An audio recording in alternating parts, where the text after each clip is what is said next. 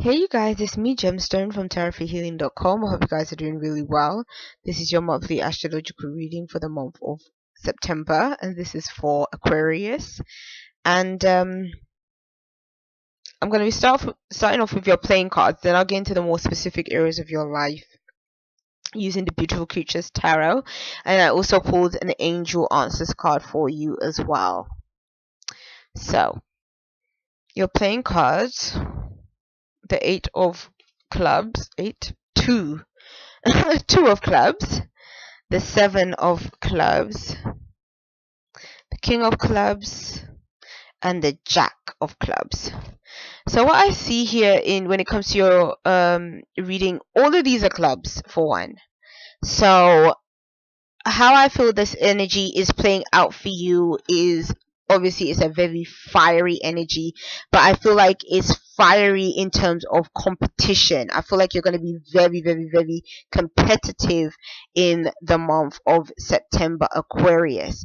The first card is making me feel like you are trying to branch out. You're trying to do something that um maybe you've been waiting on waiting for something to come through you've just been trying to either do something new or you've started on something that's in sort of the new-ish kind of phases like it's in the more beginning phases and then you are but then it's like you're very competitive with what you're trying to do.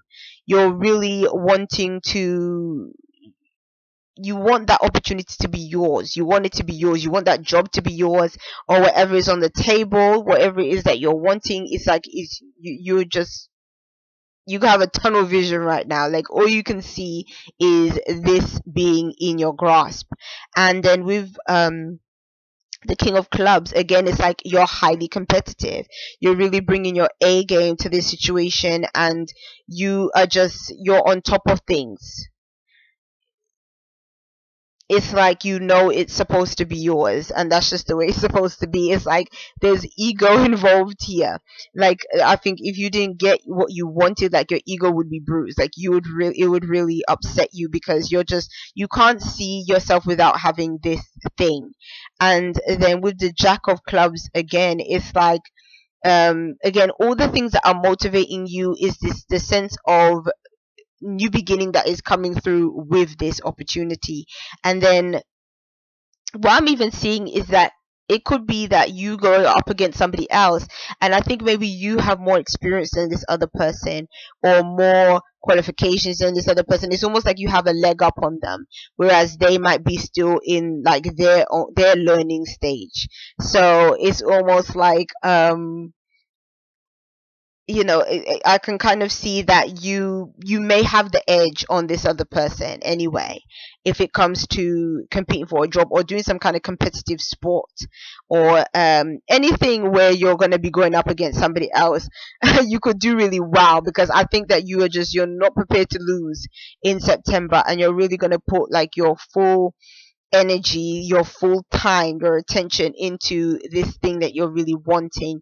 And I think that you will definitely get success because in your work you have the 10 of earths. The 10 of earths is showing that there is money behind this competitive streak that you have in you. And so you might even be um, entering into some kind of competition to win some money and end up winning something.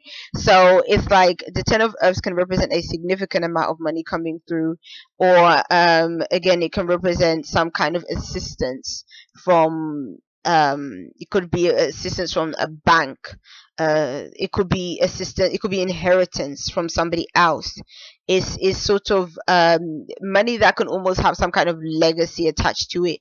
And again it can be something that helps you to support your family helps you to maybe think of the future of you and your family. So um I think that how this card can be playing out for you. Uh, to be honest, I think that these playing cards are definitely talking about a work situation. That's really what I'm feeling here, and I think that it this with the Ten of Earth showing up in um uh, alongside those other cards is that you're going to be victorious in what you're trying to do, and so it's like you're going to get through whatever whatever phases you have to go through to, of this comp competitiveness whether it's like interview stages or like some kind of um because you know in some interviews they, they have like you have to do group interviews and a single interview and phone interview all these different things. And so if it's like that's what you're having to do it's showing that you're going to have success in the end.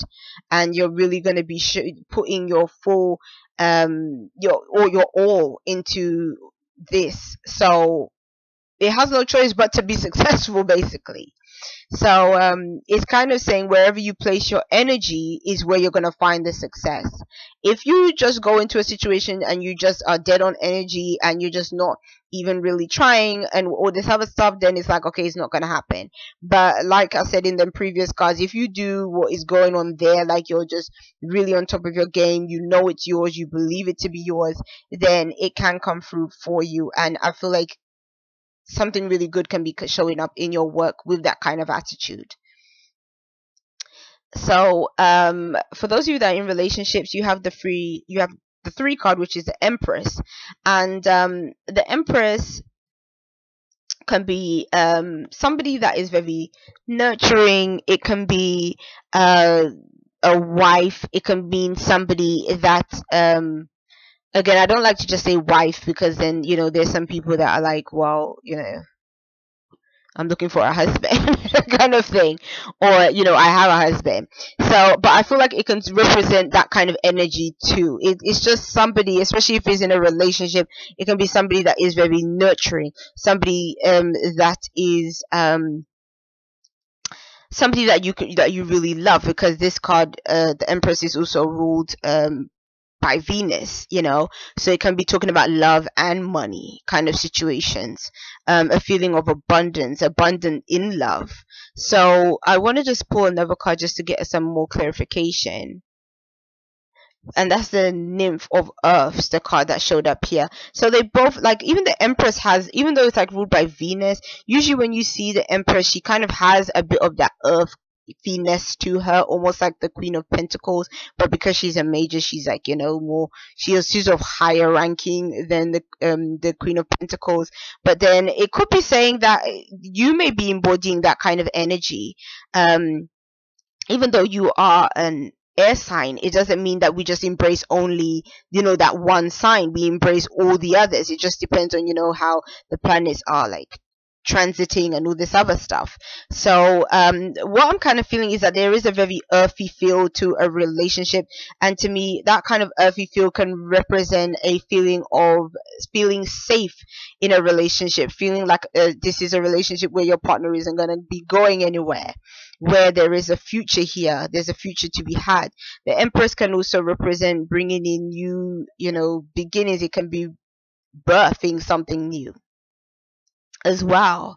And so that might also be connecting with this earth card in saying that maybe for some of you guys, you might have new additions to your family. Or this might be a really good time for you to spend more time with your family. Um, it's just having that quality time and just enjoying each other's company. Um, yeah and with this kind of card um the nymph of earth it could be saying again that there is there is something new that could be coming through too with your relationships. That's kind of what I'm feeling. I'm I am feeling for some of you guys this definitely could be a, like a child as well. But it's something that solidifies the relationship if it hasn't yet been solidified or that makes it more serious. Um I just feel like there's a great sense of love with these cards and just care and paying attention to your partner. And so if you haven't been doing that kind of thing it's sort of saying like you know you have to sort of rekindle or recapture that kind of um feeling in this relationship because it would really it would really just be beneficial to kind of just keep this relationship together So yes, that's what I'm getting with those cards. The um for those of you that are single, I have the Wheel of Fortune, and the Wheel of Fortune to me is um showing that you can change things up, you can switch things up in your life. If you are currently single, like you can easily switch that up to being in a relationship. Um because the wheel of fortune could represent almost being like in the opposite circumstances to where you began So it's saying that things can reach full circle. It's almost a card. It's also a card that is associated with karma as well. So you getting what you deserve and so uh, but that can sometimes go either way sometimes it can be getting what you deserve in the sense of like a really good situation um like you know uh, the relationship that you've wanted your whole life coming to you but then it also can be getting what you deserve like if you are a player or somebody like it, it could be like that coming back on you kind of situation so it's sort of saying be careful what you put out there with the wheel of fortune because it can come back to you um but the Wheel of Fortune also gives a it's a really good card because it gives you the opportunity to really uh, learn some lessons as well, learn some pretty powerful lessons when it comes to love as well. So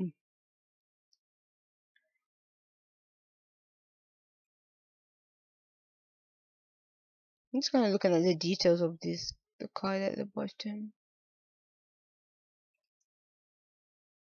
What I'm going to do is I'm going to pull an additional card for this one as well and see what comes up. Oh, one of Earth. So you have the Ace of Pentacles showing up with this one. And with the Nymph of Pentacles. So even for those of you that are like single, there's opportunities. For again, there's like another earthy kind of energy for you. Stable kind of energy, consistent kind of energy.